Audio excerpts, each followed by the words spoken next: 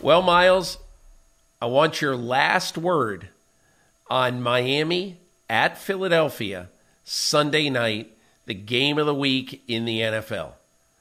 Who you got? How can, how can you not be excited for this one, Peter? I mean, you're not excited for this. You don't love be a football. great game.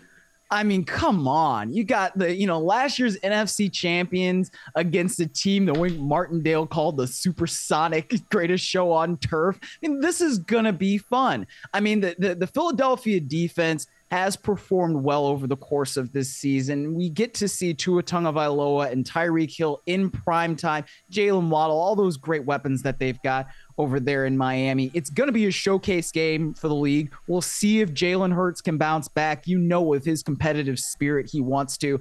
I, I am certainly going to be waiting all day for Sunday night uh, this weekend. I kind of like the Dolphins in this game. Yeah. Uh, and one of the reasons I like him is that I think Tua Tagovailoa has now figured out uh, when to get rid of it, when to fight another battle. And I think he's going to do that at Lincoln Financial Field. I don't think he's going to have incredible numbers. I think he's going to make enough plays against a team that, you know, on that defense right now, uh, or I'm sorry, on that Philadelphia offense, I just don't know who to trust right now. Mm. I think, uh, you know, until Sunday, I was telling everybody Jalen Hurts will be fine. Man, you know, like Sal and I discussed in that in that little segment, uh, you know, Jalen Hurts at the end of that game is staring into space, saying, "What in the world is going on here?" So, I think as we record this on Tuesday, I will guarantee you it's Tuesday morning. I will guarantee you that Jalen Hurts is in the facilities, probably working out right now, but all afternoon he's going to be wondering, watching tape talking, sticking his head into Nick Sirianni's room, into the offensive staff's room, and basically say, hey, here's what I see. What do you see? And I think this is a big, big test because, look, the Eagles are going to have to score some points.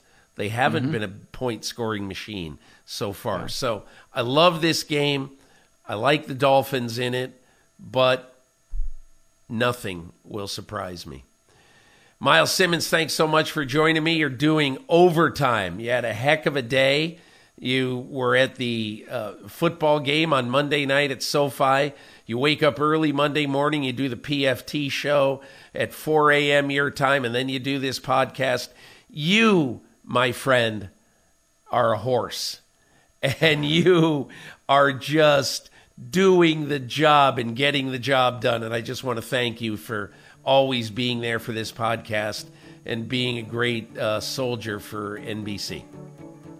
Well, thank you, sir. Hey, it's my pleasure. There are a lot worse things that I could be doing than covering football and getting to talk about it, man. I, I love it.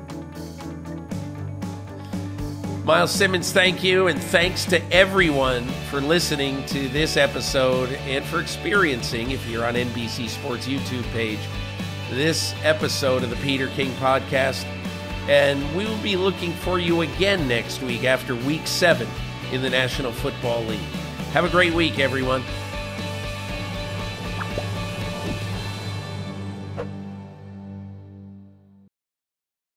Hi, I'm Mike Tirico, and thanks for watching. Make sure to hit subscribe for the latest news and highlights from NBC Sports.